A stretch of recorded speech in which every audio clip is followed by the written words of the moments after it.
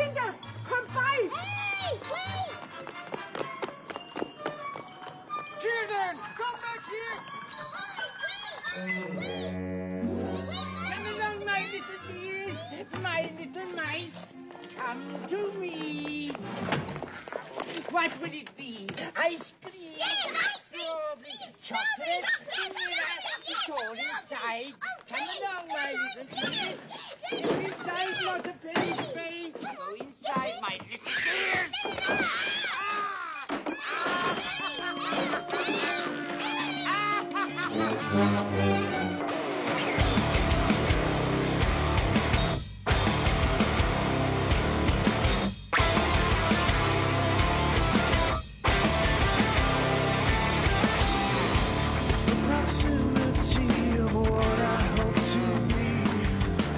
Hello, this is Steve Kubby. I'd like to welcome you to Kubby TV.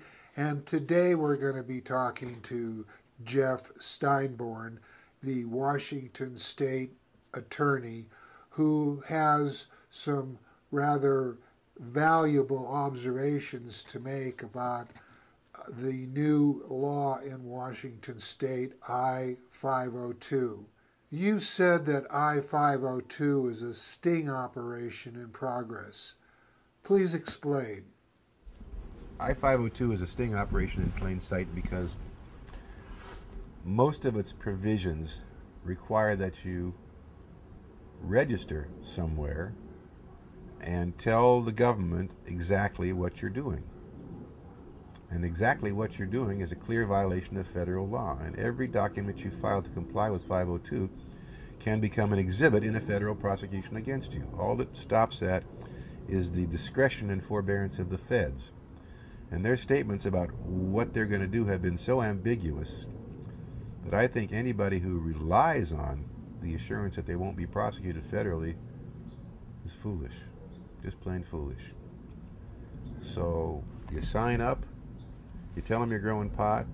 They are this, the I-502 itself requires the state to turn over all the information that you give them to any federal law enforcement agency that inquires.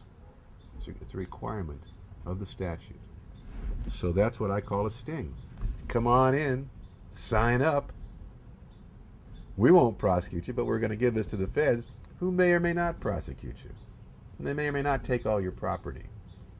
They may or may not give you a five year mandatory minimum because you had over 100 plants. They may or may not give you a five year mandatory minimum because you had a firearm in your possession while you're growing your legal pot or selling your legal pot. If you're trying for a license under 502 and you want to run a business where you got employees, when you get to four employees, you become a, uh, a continuing criminal enterprise. It's a RICO offense. It starts at a mandatory 15 years in prison. Will the feds do that? I don't know. Should I advise a client to put his name on a piece of paper that says I got four employees and I'm growing pot? I'm not going to do that, knowing the risk. We don't know whether the feds are going to leave, leave you alone or not. So that's why I call it a sting in plain sight. It was obvious that the self-incrimination aspects of it were obvious. No one made any apologies for it. They just said, well, it's still legal under federal law. Maybe they won't bother you. That's the best they can tell us. Now the feds have said, well, you know, we probably, we might not bother you, but, it, you know, we still reserve the right to do it if we want to. That's no promise. When you're looking at losing all your property and maybe doing 10 or 15 years in prison, how much are you ready to risk? But you can go downtown and you can spend 7500 bucks on a lawyer who will set you up with all these documents. And boy, set you up is what they're doing. Will the taxation requirements be what voters expected? I don't think the voters realize just what this tax structure means. If you got to add 25% at every level, it comes out to I think 92% if you compound the interest or something like that. And that's before sales tax. That's before income tax. What should people know about the licensing system? The licensing system is they've regulated cannabis as though it were plutonium or anthrax or something really deadly. Way overregulated. You know, you don't you don't see uh, any any other substance regulated like this. Even alcohol and tobacco aren't regulated that carefully. Nor are they taxed that extensively.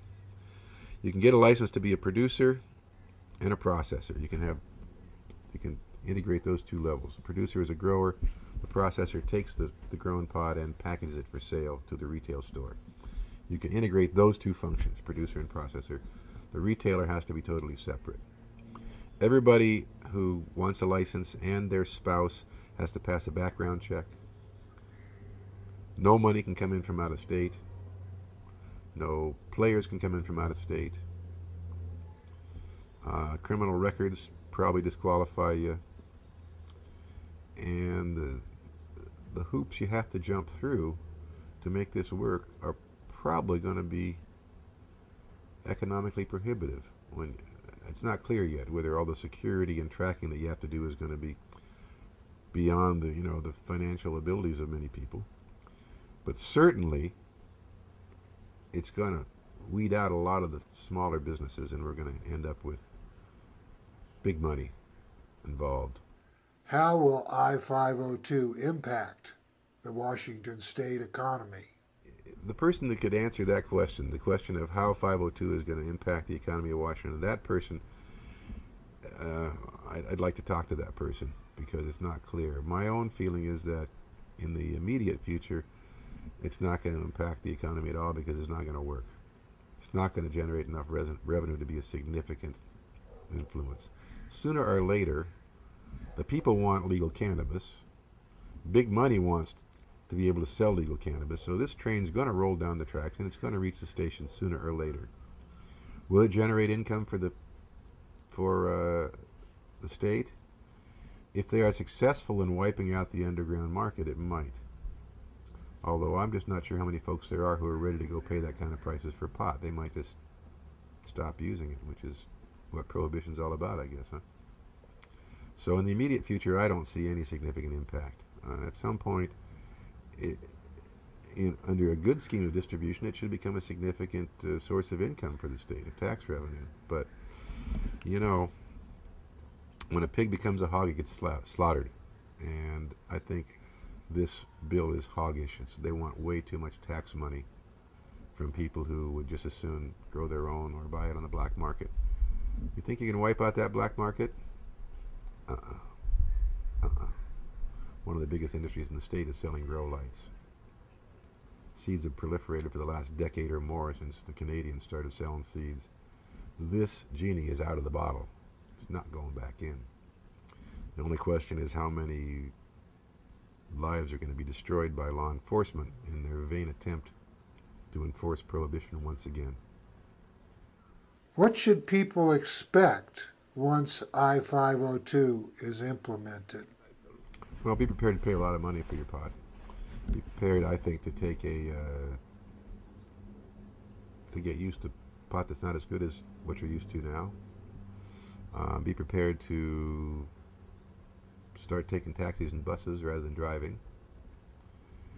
And uh, don't expect to be employed because there's nothing slowing the employer's uh, power to drug test you and to throw you off a job if you test positive for pot, whether you're using it on the job or not.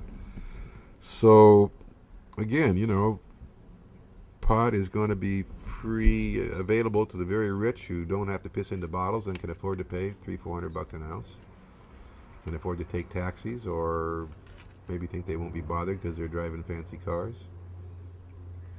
And the rest of us uh, will have to choose between pot and employment, have to choose between pot and driving.